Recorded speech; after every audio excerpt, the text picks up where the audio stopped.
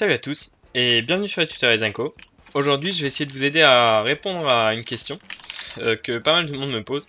M4A4 ou M4A1 Alors c'est une très bonne question et euh, malheureusement je vais pas vous apporter une réponse directe.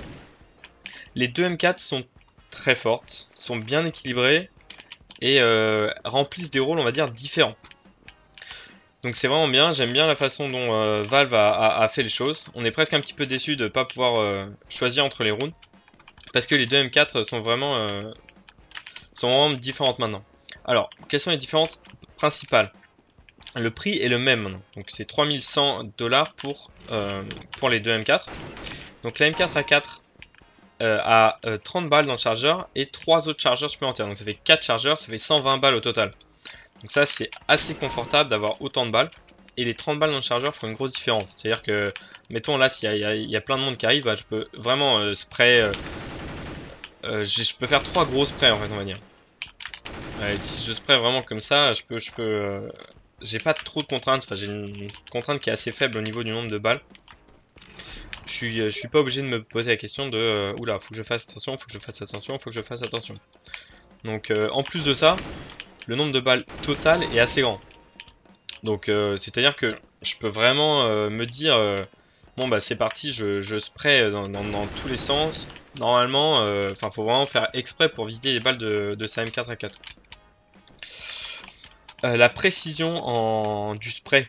Alors, la précision du spray est plus grande sur la M4 à 4. Donc, euh, ça, c'est quelque chose qu'il faut prendre en compte. C'est-à-dire que de loin, et enfin même de près, le spray est beaucoup plus, plus dur à maîtriser, on va dire. Donc c'est un coup de main à prendre. Après, il n'est pas, il est pas très très compliqué. Hein. C'est pas quelque chose d'impossible.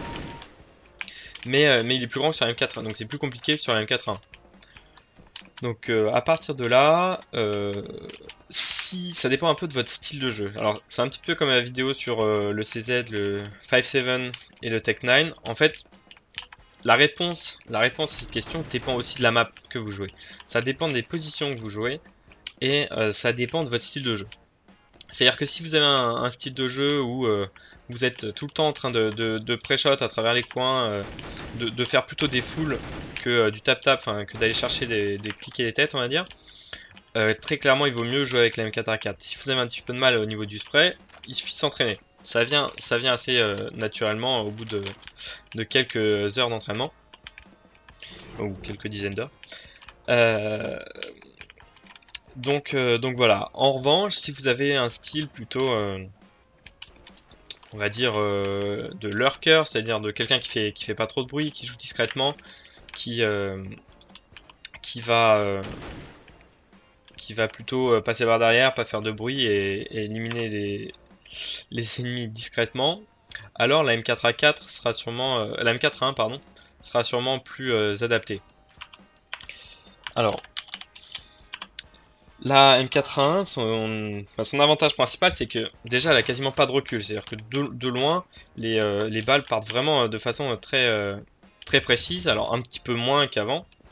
il y a quand même du recul, mais il est plus facile à maîtriser, on va dire, que, que celui de la M4A4. Elle est assez précise en courant, c'est assez correct. Ça reste on est toujours sur CS, hein, donc euh, c'est quand même peu précis. Mais ça reste assez correct, meilleur que la M4A4. Et, euh, et euh, l'avantage, l'autre avantage principal de, cette M4, c'est que c'est le, bruit en fait, c'est silencieux. C'est quasiment impossible d'entendre, enfin de localiser en fait la position du tireur. Enfin c'est très compliqué on va dire, de localiser la position du tireur quand, quand on est une M4A1. C'est-à-dire que s'il y a quelqu'un qui se trouve là, eh ben, s'il nous a pas vu, on peut, euh, on peut très clairement lui envoyer quelques balles sans se faire repérer. Alors qu'avec la M4A4, c'est vraiment... Euh, c'est plus complexe. Enfin, avec toutes les autres armes, en fait, sans silencieux, c'est beaucoup plus complexe. Euh, donc ça, il faut pas hésiter à en abuser pour bah, garder sa position secrète, on va dire. pareil à travers les smokes. en tirant à travers les smokes avec une M4A1, c'est quasiment impossible de se faire repérer. Alors qu'avec les autres armes, euh, c'est vraiment... Euh, bon, on fait facilement repérer.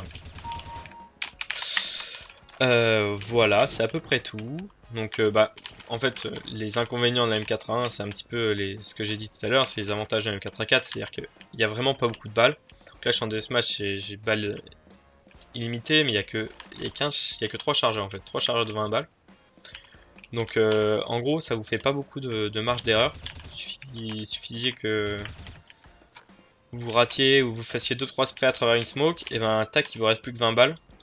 Donc euh, c'est compliqué, il faut, euh, il, faut, euh, il faut gérer le nombre de balles. cela dit, cela dit, ça reste, les deux M4 restent très fortes et tout à fait jouables dans, dans plein de situations. Voilà, c'est à peu près tout. Il me semble que j'ai fait le tour des points forts et des points faibles. Donc encore une fois, si vous attendiez à une réponse euh, tout à fait tranchante de ma part, eh ben, je suis désolé de vous décevoir, mais, euh, mais étant donné la, méta actuelle, les deux, les deux M4 sont, sont équilibrés et les deux sont très clairement viables. Et euh, moi, laquelle avec je joue, eh ben, ça, change, ça change assez souvent. En ce moment, je suis sur un 4 à 1, mais hier, j'étais avec la M4 à 4, etc. Et je change en fonction des maps, etc. Donc voilà, à vous de... Bah, je dirais de vous entraîner avec les deux, puisque c'est dommage de n'en maîtriser qu'une. Surtout si vos potes, par exemple, vont, vous en dropper une, euh, dans une dans une partie. C'est dommage de ne pas maîtriser les deux M4. Surtout qu'il n'y a pas beaucoup, beaucoup de différence.